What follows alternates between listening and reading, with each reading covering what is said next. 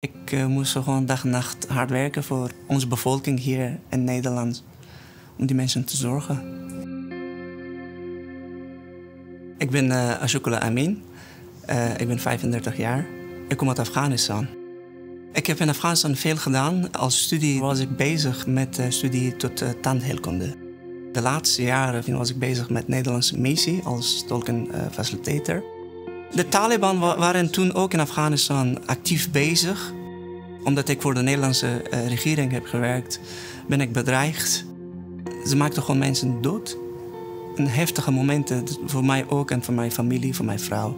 En uh, uiteindelijk, uh, mij en mijn gezin ze hebben geëvacueerd toen. Ik wilde ook hier gewoon mijn eigen studie gewoon afmaken om tandarts te worden, maar dat lukt mij niet. Dus uh, ik besloot om, uh, om uh, iets anders te doen.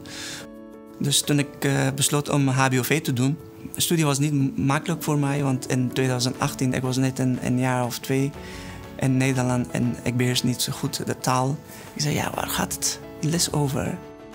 Zes studenten toen we hebben het eerste jaar de proposal gehaald. Een van die was, was ik.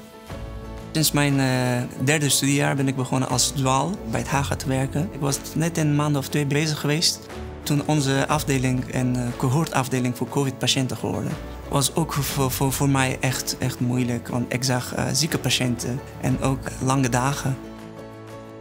Ik ben trots dat ik gedurende die twee jaren ben ik nuttig geweest voor de Nederlandse maatschappij, voor mensen, voor samenleven hier. Heel veel mensen heb ik geholpen met, uh, met wat, wat ik kon doen.